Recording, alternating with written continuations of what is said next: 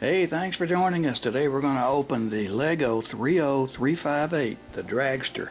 This was a free gift from Legos if you ordered something from their website. I did, and here it is.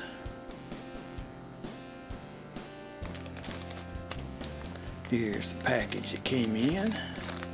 It has 40 pieces, one figure. Alright, let's open it up.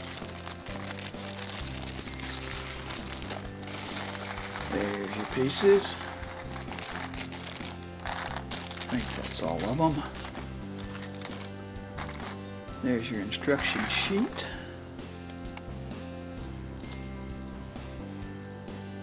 Alright, let's put it together.